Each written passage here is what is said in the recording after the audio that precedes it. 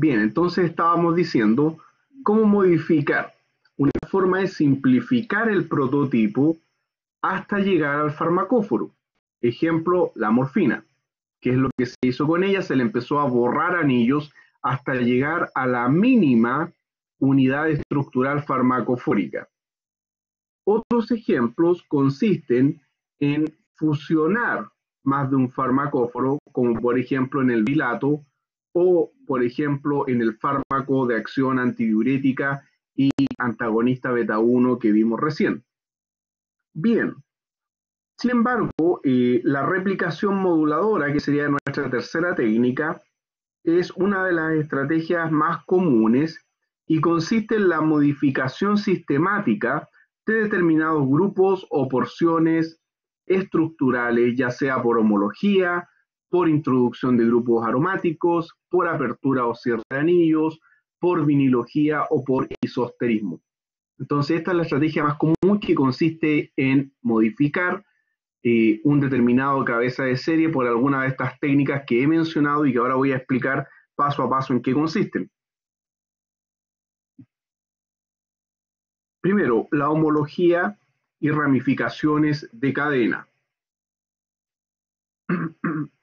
Mediante esta técnica, uno puede crear una familia de, homólogos.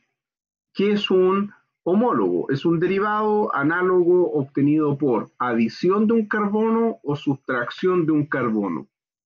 Si ustedes le añaden un carbono a una molécula, tienen un homólogo. Si le quitan un carbono, también. Pero paso desde el punto de vista de las propiedades físico-químicas. Si ustedes le añaden un carbono a la molécula, aumenta la lipofilia. Consulta, ¿ven el cursor que muevo yo en pantalla? Estoy moviendo el cursor acá en lipofilia. Muchas gracias. Por otra parte, si ustedes sustraen un carbono, ya sea de cadenas o de ciclos, la lipofilia disminuye. Así que tengan en consideración eso, va a haber un cambio, un cambio físico-químico en la molécula, ya sea al adicionar un carbono o quitar un carbono. Podemos eh, establecer una ley, eso va a depender respecto a si el fármaco es de acción inespecífica o de acción específica. Una ley respecto a qué? Respecto a si la actividad va a aumentar o disminuir es impredecible, en otras palabras, porque incluso a veces se hallan nuevas actividades cuando a una molécula se le quita un carbono o se le coloca un carbono adicional. Así que mucho cuidado, no podemos establecer una ley universal. Si el fármaco es de acción inespecífica, vamos a tener dos ejemplos en los que se sabe que aumentar la cantidad de carbonos aumenta la actividad biológica. Ejemplo, alcoholes alifáticos curados con actividad bactericida. Es sabido históricamente que los alcoholes tienen actividad bactericida. Eh, esto significa que pueden matar directamente bacterias, pueden alterar la membrana de las bacterias y por lo tanto la destruyen. Nótese que a mayor número de carbonos, mayor actividad bactericida, hasta un máximo de 8. ¿Qué significa eso? Que, por ejemplo, el octanol sería el alcohol más bactericida de todos. Si después comienza a aumentar el largo de cadena, la actividad bactericida cae porque el fármaco comienza a precipitar, ya pasa a ser sólido, no se disuelve bien y por lo tanto no tiene un buen efecto porque además no penetra ni disuelve bien la membrana de las bacterias. Entonces podemos decir que la actividad en esta pequeña ecuación es función del log P. A mayor log P, a mayor lipofilia, mayor actividad hasta un máximo de 8. Ahora, en, este punto, ya, en este punto que, que vemos acá arriba, ¿no es cierto? Si uno matemáticamente calcula la derivada, va a tener que en ese punto la derivada se hace cero, o sea, uno así podría saber dónde está el máximo. En este caso en particular, el máximo es 8. A 8 átomos de carbono se consigue la máxima actividad bactericida. Este gráfico también eh, ocurre en los fármacos de acción anestésica local.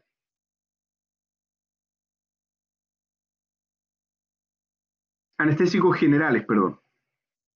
En los anestésicos generales que eran de acción inespecífica, recordar, se unían al axón de las neuronas, impidiendo eh, el flujo de electricidad a través del axón, a mayor lipofilia del anestésico general, también mayor actividad anestésica. Y por lo tanto tendríamos un gráfico prácticamente igual. No obstante, cuando nuestro fármaco acción específica, el adicionarle o quitarle un carbono puede generar consecuencias drásticas. ¿Por qué? Porque la estrategia va a tener éxito siempre y cuando por quitar o adicionar un carbono no se afecte una distancia crítica de unión al receptor. En color verde, un receptor genérico, una caricatura de receptor y las esferas azules conectadas es el fármaco. El fármaco se conecta mediante dos grupos funcionales y por lo tanto si ustedes cortan la distancia o la alargan, el anclaje al receptor se va a perder, no va a ser óptimo. En algunos casos, en algunos casos no hay un cambio significativo de unión al receptor, como en el desarrollo de etoheptacina, que es un hipnoanalgésico obtenido por homología de mepiridina. O sea, a mepiridina ustedes le adicionan un carbono más, un grupo CH2 adicional, y obtienen etoeptina que conserva la actividad biológica. ¿Por qué la conserva? Si que está aumentando la distancia a el nitrógeno. Dijimos que el farmacóforo de los hipnoanalgésicos era un anillo aromático, que ahí lo tenemos de manera perfecta, el anillo de benceno, un átomo de carbono cuaternario, que lo vamos a representar como C sub Q, un átomo de carbono cuaternario que también está ahí dentro de la estructura, y tres átomos de distancia a un nitrógeno terciario.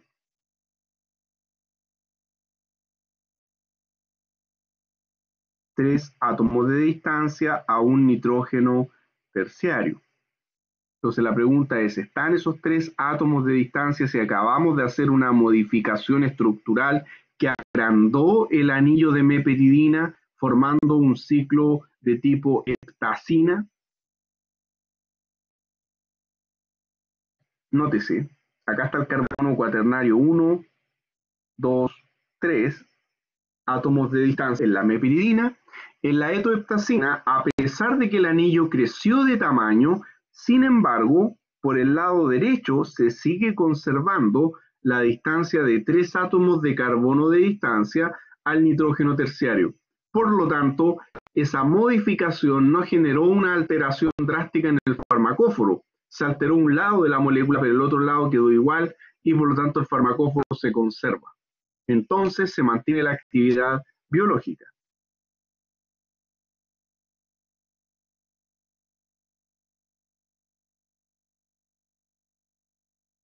Los bloqueantes ganglionares son bastante sensibles a las modificaciones estructurales que tengan que ver con el largo.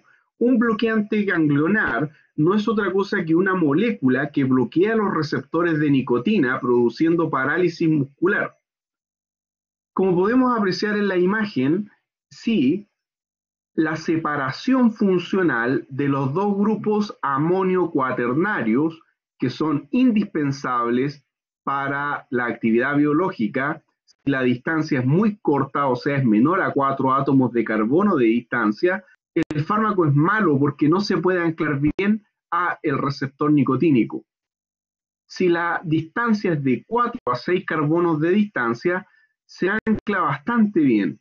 Tiene el largo suficiente para anclarse a los dos sitios que estos dos nitrógenos cuaternarios tenían que unirse. Si ustedes recuerdan de una de las clases pasadas, la nicotina como es cortita, se tienen que unir dos nicotinas al receptor nicotínico. pero un bloqueante ganglionar de estructura amonio cuaternario, como es largo, basta que una molécula se una a el receptor.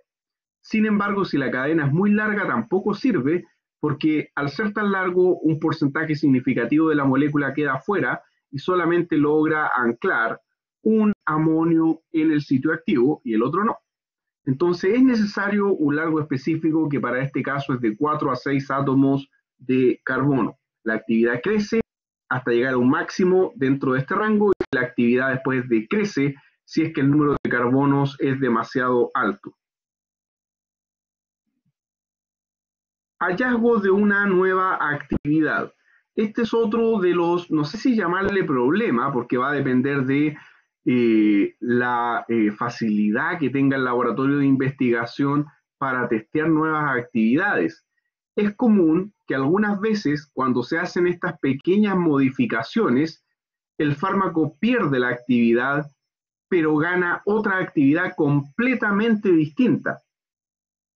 Ejemplo, lo que tenemos ahí es una molécula antihistamínica H1, la dietacina, que puede tener un efecto antihistamínico potente para la supresión de las secreciones nasales. Cuando una persona o un niño está resfriado, secreta una gran cantidad de mucosidad y mediante el bloqueo de los receptores de histamina H1 se puede bloquear esa secreción nasal excesiva.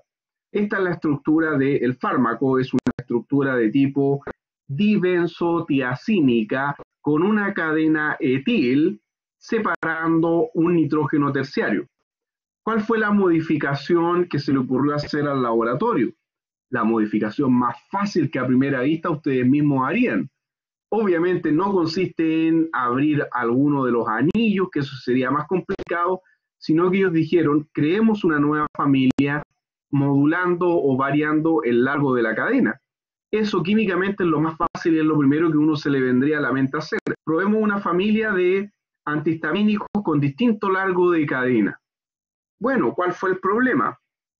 Que apenas alargaron la cadena en un carbono mediante un CH2 adicional, se perdió inmediatamente el efecto antihistamínico. Pero como los laboratorios farmacéuticos tienen tantos recursos, pudieron testear este nuevo compuesto y se dieron cuenta que tenía actividad antidopaminérgica o sea, tenía actividad terapéuticamente hablando antipsicótica. Es un neuroléptico, esa nueva molécula que descubrieron su efecto accidentalmente es la clorpromacina. Clor porque tiene cloro. Promacina, pro viene de propil, tiene tres átomos de carbono en esta cadena. Acina significa que tiene un anillo nitrogenado acá en el centro.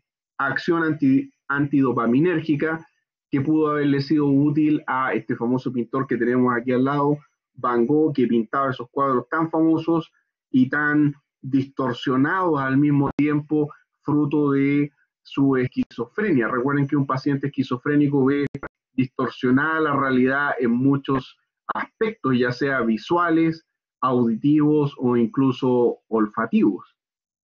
Bueno, hoy en día se ocupan mucho los eh, neurolépticos de esa estructura porque son bastante económicos. Neurolépticos más selectivos, con menos efectos adversos, son carísimos. Cuando yo trabajé en farmacia, recuerdo que los vendedores se peleaban la venta de un antipsicótico porque hablábamos mínimo 150 mil pesos una caja que en ese tiempo duraba máximo para un mes. Entonces, desde el punto de vista eh, del precio, son bastante altos, aunque sin embargo, curiosamente, desde el punto de vista sintético, no son tan complicados de hacer. Bien, la eh, diapositiva que vemos aquí abajo plantea una pregunta. ¿Y qué pasa si en vez de hacer una cadena, una cadena larga, la ramificamos si ustedes ramifican una cadena, van a incrementar las posibles interacciones hidrofóbicas con el receptor. Pero nótese lo siguiente, pasa algo bien extraño. Cuando ustedes ramifican la cadena, la lipofilia baja. Ustedes se dirán, pero ¿cómo si estamos añadiendo un carbono a la molécula? ¿Por qué la lipofilia baja? Eso no es una ley, pero es una generalización. se debe a que la molécula se vuelve más esférica. Y si una molécula se vuelve más esférica, tiene menos puntos de contacto con la molécula vecina. Baja la afinidad molécula-molécula, lo que hace que baje su agregación, baja su lipofilia. Por otra parte, siempre que ustedes ramifican una cadena, y esto lo saben de química orgánica, se restringe la libre rotación en torno a un enlace sigma. Veamos el caso del desarrollo de captopril. La molécula que inicialmente estamos mostrando acá corresponde a mercaptopropanoil prolina, un precursor utilizado o se intentó utilizar para el tratamiento de la hipertensión porque inhibe la enzima convertidora de angiotensina, que es una hormona que incrementa la retención de líquido, incrementa la presión arterial. Se dieron cuenta que para que haya actividad biológica en esta clase de derivados estructurales derivados de la prolina, era necesario que en la estructura del fármaco tuviésemos una disposición de tipo anti entre el grupo sulfidrilo, o sea, el grupo SH, y todo el resto voluminoso del anillo, o sea, el grupo SH y todo el anillo de prolina, tienen que estar en una disposición anti. Nótese la proyección de Newman aquí a la derecha, donde se aprecia claramente una disposición anti entre el grupo SH y todo el resto de la molécula, toda esa prolina voluminosa. Entonces, la pregunta era, ¿cómo conseguimos en el espacio-tiempo que la molécula permanezca en esa disposición anti? Porque si está en disposición anti, tiene mejor afinidad por la enzima convertidora de angiotensina. La estrategia fue suprimir la libre rotación que tenía esta cadena. ¿Cómo suprimían la libre rotación de esta cadena? Insertando un grupo metil en dicha cadena. Si ustedes insertan un grupo metil en esa posición, SCH3 que marco en verde, ese grupo metil se aprecia claramente en la proyección de Newman que por impedimento estérico con el grupo sulfidrilo va a impedir una libre rotación. Va a hacer que sea mucho más difícil que la molécula esté rotando fácilmente a temperatura ambiente, sino que los grupos eh, experimentan repulsión estérica en el espacio y por lo tanto la molécula queda fija en esta conformación anti que deja los dos grupos más voluminosos, llámese el sulfidrilo y el R, separados entre sí por un ángulo diedro de 180 grados. Así que con algo tan simple como un metil, observen todo lo que está pasando. Se está restringiendo la libre rotación, se está favoreciendo una conformación de tipo anti, que dicho sea de paso es la conformación activa, y por otra parte la lipofilia está disminuyendo ligeramente. Este análogo que tenemos acá es 10 veces más activo que su análogo de metilado. Se aumentó 10 veces la geológica y esa fue una de las racionalidades empleadas en el diseño de Captopril.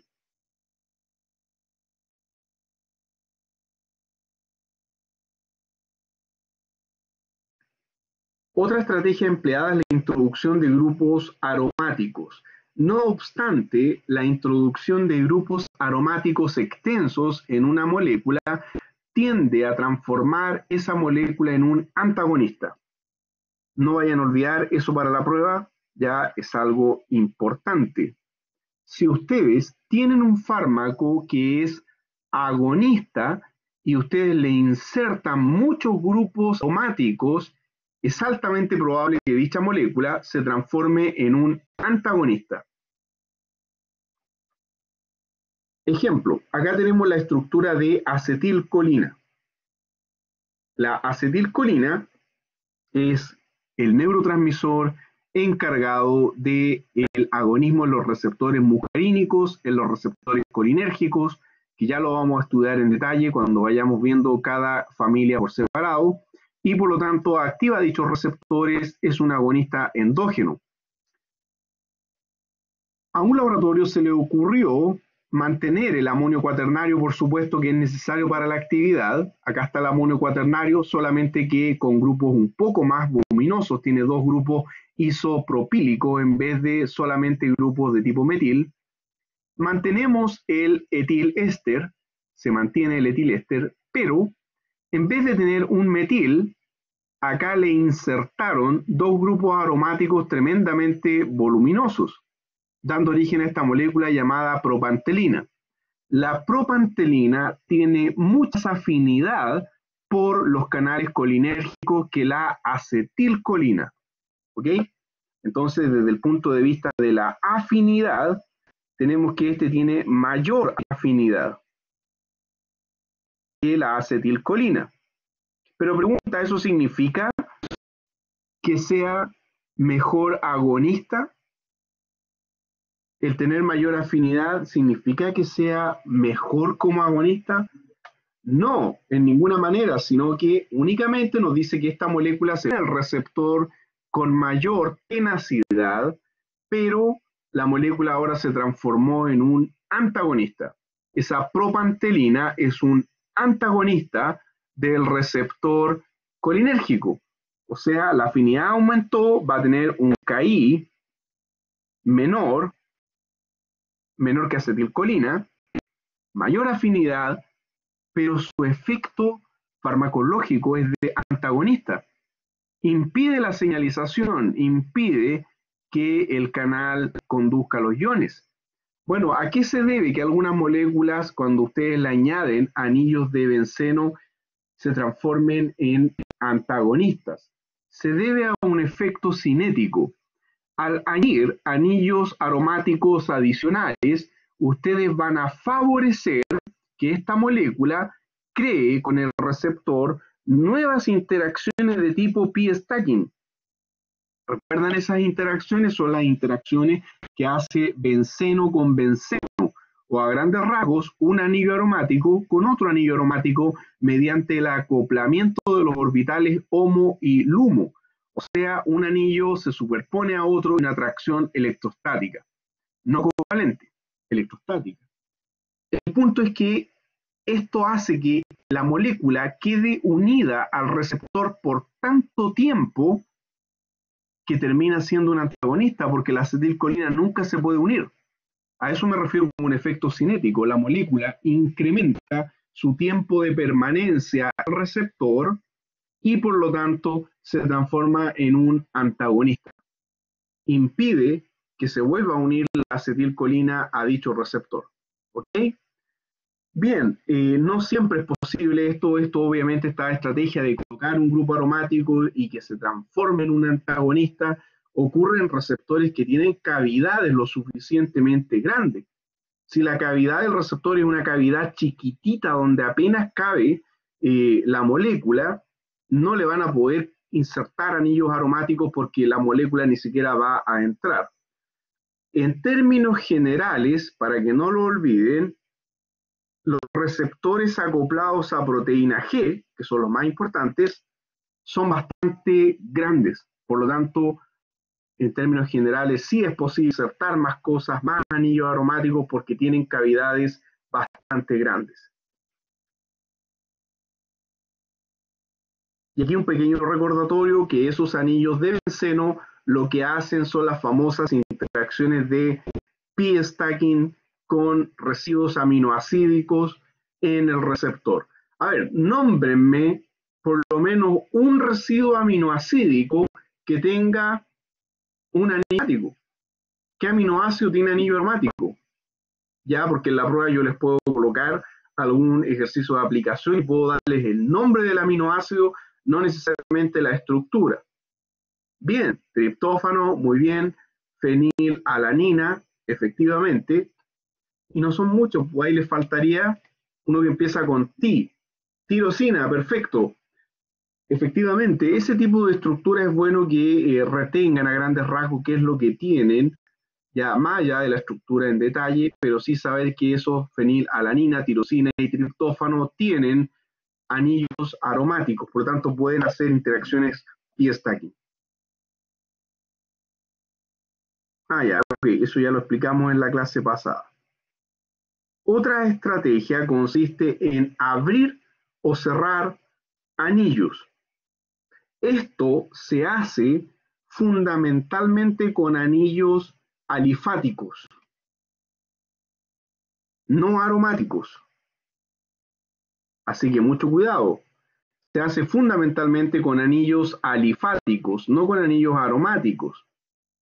¿Por qué? Porque abrir o cerrar un anillo aromático es tremendamente difícil, se pierde la resonancia, se pierde la estabilidad, eh, no sirve y probablemente van a perder hasta posibles interacciones de pie stacking que ese anillo aromático haga con el receptor. Si ustedes abren un anillo, van a tener mayor flexibilidad, mayor libertad conformacional. Pero si ustedes cierran un anillo, es con el fin de obtener un análogo más rígido y que fije la conformación activa de dicha molécula. Desde el punto de vista medicinal, ¿cuál de las dos estrategias es la que se busca más? El cierre de anillos. ¿Ok? Puede que vaya un poco en contra del sentido común, pero desde el punto de vista medicinal, cuando uno haya una molécula que es buena, que es potente, afina un receptor, uno tiende a analizar la estructura para ver si es posible rigidizarla un poco más, cosa que sea más afín por dicho receptor, por fijar la conformación activa con la que se une el receptor. El desafío, obviamente, es saber cuál es la conformación activa. Veamos un ejemplo. Acá tengo trimepracina, que tiene un CELOG P de 4.98. Es un agente eh, neuroléptico, un agente eh, con actividad antipsicótica. Y un CELOG P de 4.98 pregunta, a ver si han estudiado, ¿alcanza a estar dentro de las reglas de Lipinski? ¿Cuánto tenía que ser la lipofilia de Lipinski como máximo ideal? Perfecto, tenía que ser idealmente no más de 5. Alcanzamos a estar acá dentro del rango de Lipinski. No es una ley absoluta, pero era un buen indicador de una buena farmacocinética. Si ustedes ciclan la porción inferior mediante la unión de esos dos grupos metil, van a conseguir un análogo mucho más rígido. ¿Por qué? Que inmediatamente están anulando la rotación del enlace sigma. ¿Cuál enlace sigma? El enlace sigma nitrógeno-carbono del nitrógeno terciario distal. ¿Qué más? Van a estar fijando la orientación del par electrónico del nitrógeno. Ustedes dirán, bueno, ¿y, qué implicancia tiene eso? Hilar tan fino, el par electrónico del nitrógeno ahora está más fijo en el espacio. Y por lo tanto, si el par electrónico está más fijo en el espacio, dado que no puede experimentar la inversión electrónica propia de un átomo de nitrógeno, díganme ustedes, ¿es más fácil o más difícil que en este nuevo análogo haya protonación? ¿Es más fácil o más difícil que se protone si el par electrónico ahora está más fijo en el espacio? tiene una posición específica, ya no se está invirtiendo para arriba y para abajo como cuando tiene libre rotación en la trimepracina.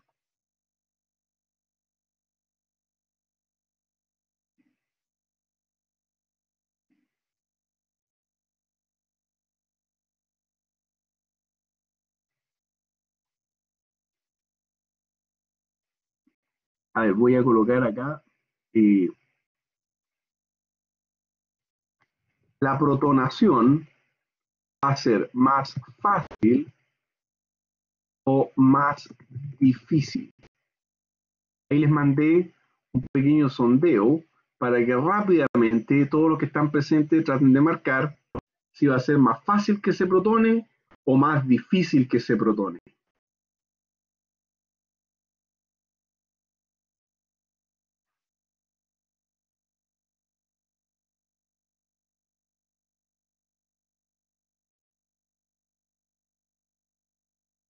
Ya la mayoría, en términos generales, eh, a ver, se está equilibrando un poco esta cosa.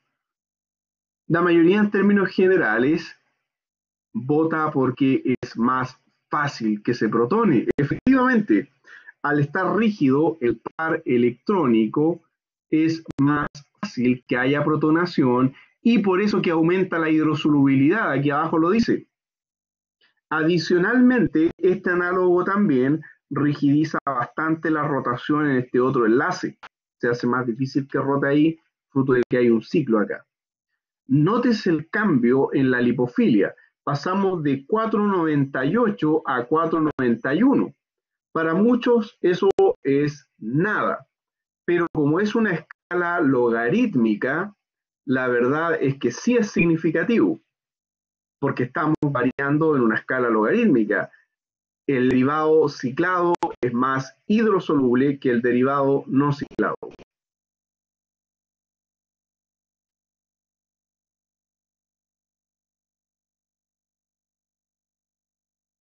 Otro ejemplo donde se ha logrado ciclar para conseguir un análogo rígido como la aminotetralina.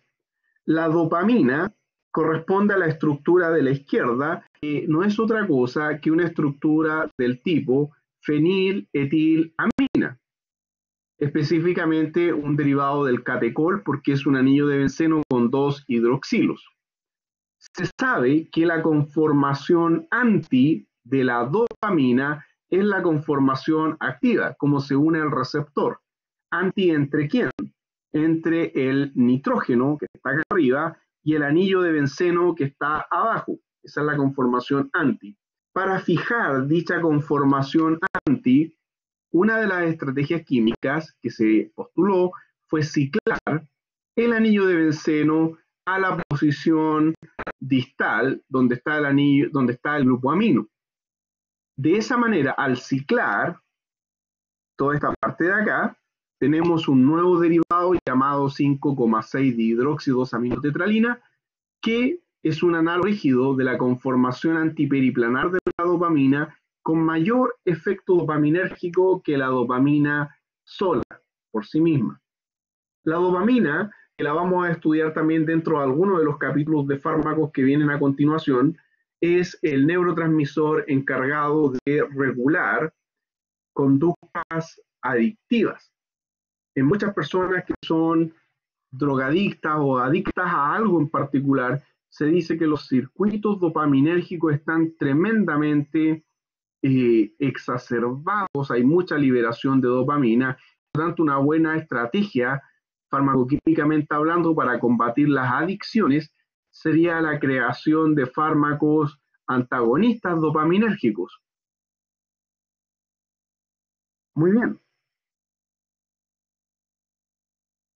En términos generales, cuando se incrementa la, la rigidez de una molécula, se incrementa su selectividad. Y al conseguir una mayor selectividad, la ventaja es que se consiguen análogos con menos efectos secundarios. Un ejemplo práctico es la conversión de mianserina, que es un antidepresivo, a el análogo que se muestra aquí abajo, que es un, compuesto en experimentación por laboratorio Bristol. ¿En qué consiste la estrategia? Nótese lo siguiente, centrémonos primero en esta parte para que podamos entender ya eh, el diseño que ahí vamos a mostrar. La mianserina es este antidepresivo tetracíclico, una estructura en lugar bastante lipofílica, pero al mismo tiempo una estructura básica. A ver, si yo les preguntara, ¿cómo hacemos el clorhidrato? Que dicho sea de paso, eh, no siempre se busca hacer un clorhidrato para hacer un inyectable, ya, sino que muchas veces es también para mejorar la estabilidad de los fármacos. No sé si se han dado cuenta que gran parte de los fármacos, cuando ustedes leen la caja, dice, eh, por ejemplo, eh, la amida clorhidrato, tal fármaco clorhidrato. ¿Por qué? ¿Por qué se da la molestia si, si muchos de esos fármacos son por vía oral? No son fármacos que van a ser inyectados. Bueno, porque al estar en forma de sal, como clorhidrato, por lo general aumenta la estabilidad química de la molécula, se transforma en una sal, por lo tanto cristaliza, se puede agregar y compactar mucho más fácilmente, haciendo que sea, desde el punto de vista físico, más resistente a la oxidación, oxidación por aire.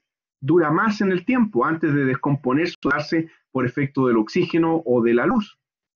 Así que no siempre ya eh, es que uno quiere hacer el clorhidrato porque se está buscando que sea un inyectable. Si yo les preguntara en la prueba, ¿cuál de los dos nitrógenos, el 1 o el 2, es el más básico? Y a ver, les voy a mandar al tiro el sondeo, ya esto no me demora nada.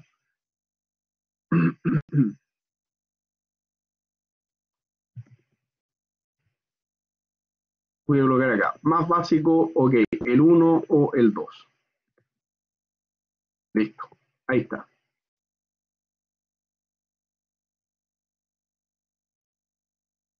El 1 es el nitrógeno anilínico, el que va directamente conectado al anillo de benceno, y el 2 es el nitrógeno piperacínico, que forma parte del anillo de 6.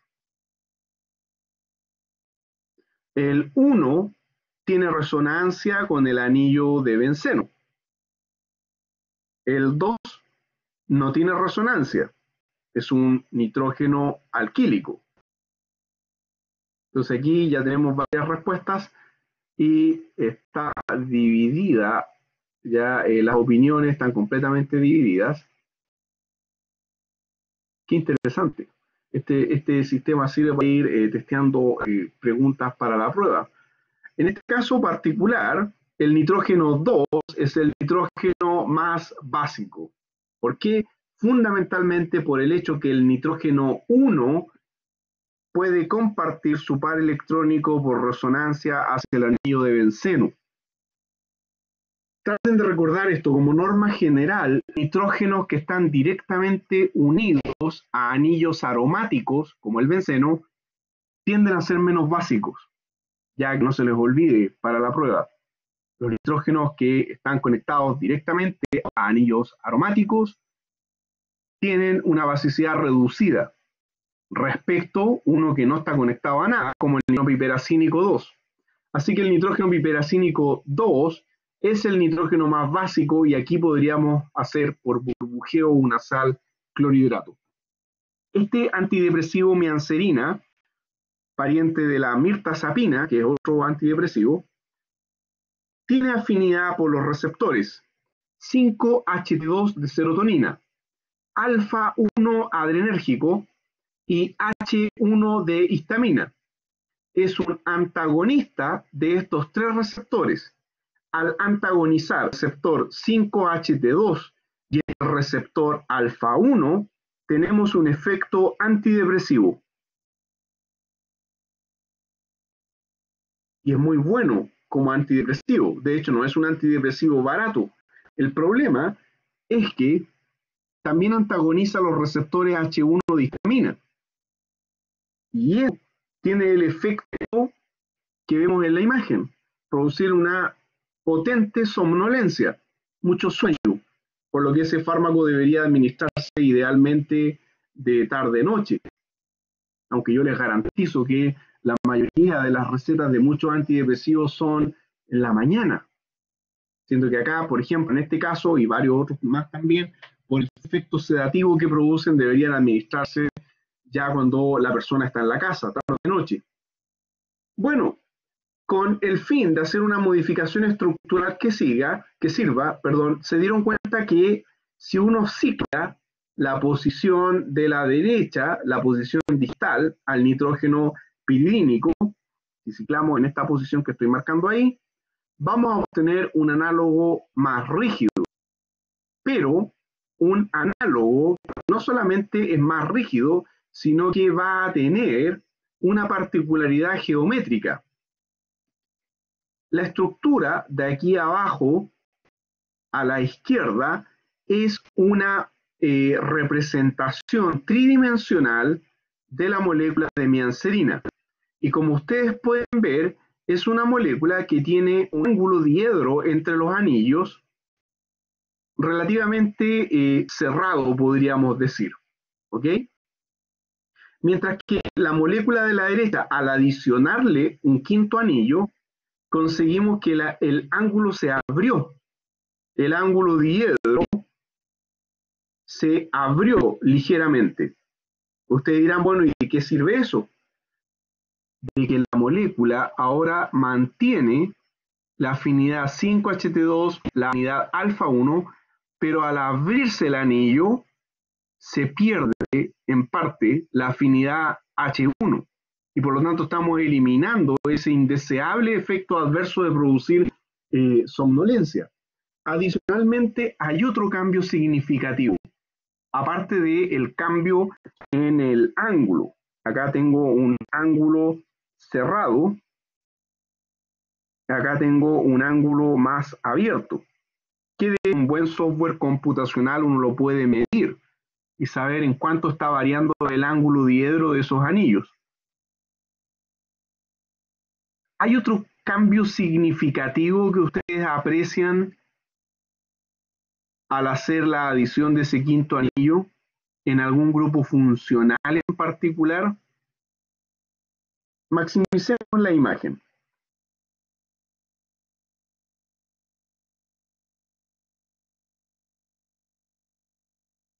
En color rosado, en color rosado, tenemos acá el par electrónico del nitrógeno piperacínico.